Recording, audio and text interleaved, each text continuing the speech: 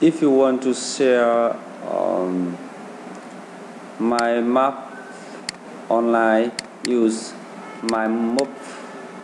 So first of all, you create the uh, map. For example, um,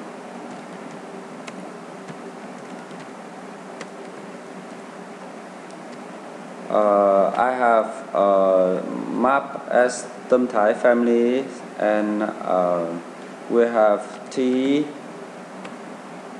and we have matcha and uh, something like that.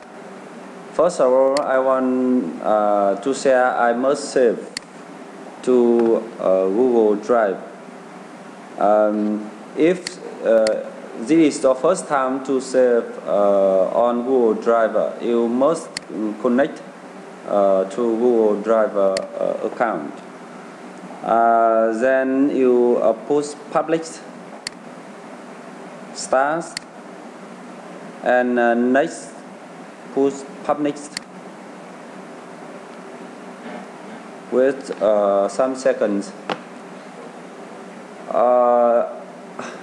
This time you choose send link and this is web page put here. It will be create uh, a web page contain uh, the link address. You copy it,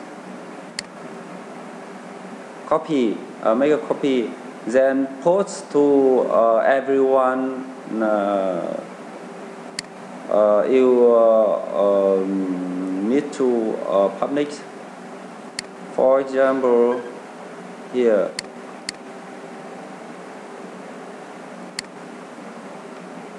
head for example uh, that is uh, when we uh, show the title of the my map uh, and other guys uh, can view.